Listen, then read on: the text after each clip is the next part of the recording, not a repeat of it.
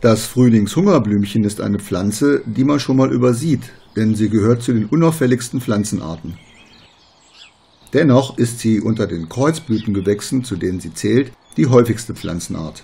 Zu den Kreuzblütlern zählen übrigens auch alle Kohlarten, der Rettich und somit auch das Radieschen. Das Frühlingshungerblümchen erscheint mit seinen kleinen Blüten im März und blüht bis in den Mai.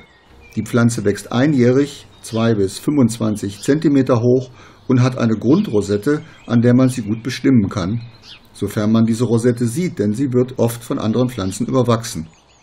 Der Stängel ist unverzweigt und blattlos.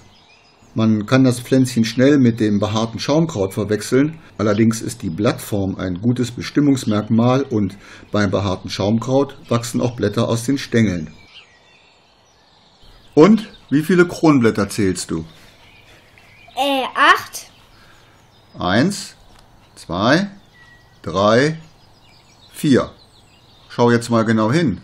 Ah, es sind vier und die sind in der Mitte gespalten. Genau. An seinen Wuchsorten breitet sich das Hungerblümchen meist in Gruppen aus. Seinen Namen trägt es deshalb, weil es oft auf hungernden Flächen wächst, sogenannten Hungerböden.